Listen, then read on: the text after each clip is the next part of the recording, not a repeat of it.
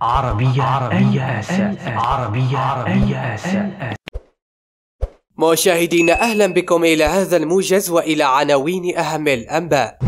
مالية 2022 ضريبة على استهلاك الهواتف والثلاجات وآلة غسل الملابس.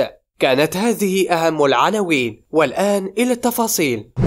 يقترح مشروع قانون المالية لسنة 2022 فرض ضرائب على استهلاك الآلات والأجهزة الكهربائية والآلات الإلكترونية والبطاريات المخصصة للمركبات ستخصص لفائدة صندوق الحماية الاجتماعية ودعم التماسك الاجتماعي. وأفادت المذكرة التقديمية لمشروع قانون المالية أنه سيتم فرض 100 درهم ضريبة على كل من الثلاجات والمجمدات ومكيفات الهواء وأجهزة غسل أو تجفيف الألبسة وآلات غسل الأواني من فئة الطاقة بي وسي إضافة إلى أجهزة التلفاز. كما تم فرض ضريبة قيمتها 100 درهم على كل تلفاز و150 درهما على الحواسب المحمولة وضريبة على حواسب المكاتب قيمتها 200 درهم تتوفر على شاشة و150 درهم بدون شاشة. كما فرض المشروع ضريبة قيمتها 50 درهما على شاشات الحواسب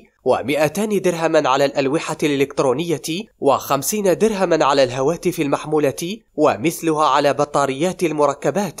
وتهدف هذه الضريبة حسب ذات المشروع إلى تعزيز النجاعة الطاقية عبر تشجيع المستهلكين على اقتناء المعدات الأكثر اقتصادا من حيث استهلاك الطاقة.